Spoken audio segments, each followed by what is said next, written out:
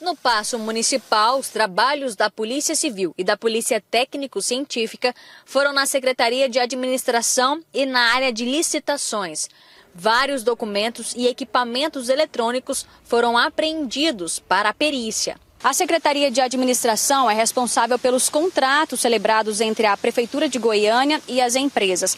Valderi Júnior é o atual secretário da pasta, mas ele não é alvo dessa operação. Nessa ação da Polícia Civil, são investigadas cinco licitações que teriam sido fraudadas. Ainda são apurados os crimes de peculato, organização criminosa e corrupção ativa e passiva. No total, 160 policiais civis e oito peritos criminais cumpriram 32 mandados de busca e apreensão, sendo quatro em órgãos públicos, na Agência Municipal de Meio Ambiente, a AMA, na Companhia de Urbanização de Goiânia, a Comurg, na Secretaria de Infraestrutura, a CEINFRA, e na Secretaria de Administração, a SEMAD.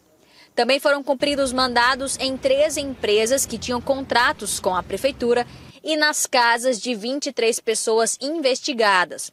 A polícia apreendeu grande quantidade de dinheiro e armas. A justiça também autorizou a quebra dos sigilos bancários e fiscais de investigados, além da suspensão dos contratos com suspeitas de fraude. O prefeito de Goiânia deu uma coletiva de imprensa nesta manhã de quarta-feira, falando sobre o assunto. Como medida inicial, o gestor público pediu o afastamento de toda a diretoria da Comurg e do diretor-presidente Alisson Borges.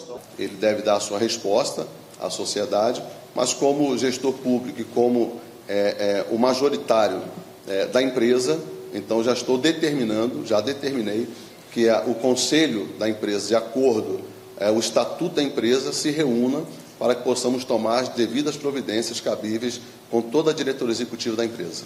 Com relação às outras pastas, ele informou ainda que tomará providências assim que tiver acesso às investigações. E as atitudes serão tomadas de acordo com o inquérito e a determinação do inquérito chegar até nós, porque não temos ainda é, o conhecimento de toda a ação do inquérito. Não recebemos, já solicitamos, mas não recebemos ainda. Assim que recebermos, tomaremos a decisão em cima daquilo que foi apresentado pela Polícia Civil.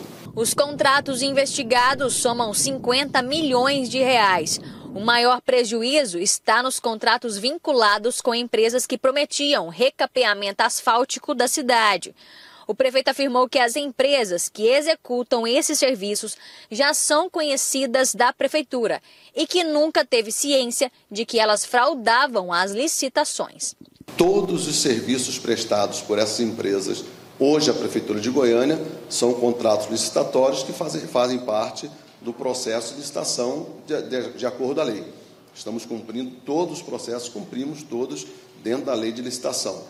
É, e é importante lembrar que tudo que for é, relacionado a essas obras, as obras permanecerão em, em, em andamento, nenhuma obra temos é, é que parar. Acredito que todos os processos relacionados a essas obras que você cita, que são asfaltos, né, drenagem urbana, as grandes obras da cidade de Goiânia, elas permanecerão continuando. E lembrando que essas empresas que foram citadas são empresas que já prestam serviço à prefeitura há mais de duas décadas.